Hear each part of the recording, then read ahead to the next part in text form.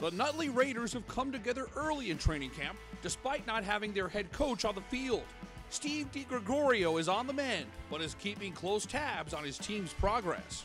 Our thoughts and prayers are with our head football coach, uh, Steve DiGregorio. He's uh, he had surgery a couple of weeks uh, a couple of weeks ago, so he's going to be out for the first uh, couple of months, and uh, we're really uh, hoping he's going to be back with us. We're looking forward to him being back with us on, on October 1st, and uh, but he's in communication with us every day. He's in good spirits, and so uh, it gives us kind of something else you know to play for, you know, to, to uh, kind of do it for for him as well.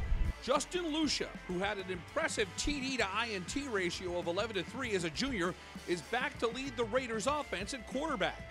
Nutley closed out the season on a three game win streak. The Raiders hope that late season boost of confidence will carry over to 2019, starting with the season opener on September 7th against Bloomfield. Uh, we're doing well. Uh, we're moving fast. It's good.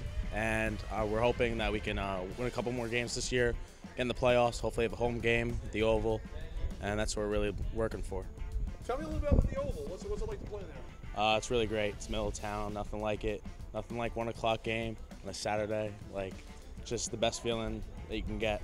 It's just great. I mean, like everyone like in the whole town comes out and like we have like stairs that we walk down for like warm ups and like pregame and obviously onto the field. And it's just like nothing like it going out there and seeing everything. It's awesome. We continue our camp countdown every day in August with high school football previews from every part of New Jersey. I'm Rich Chrampanis for JerseySportsZone.com.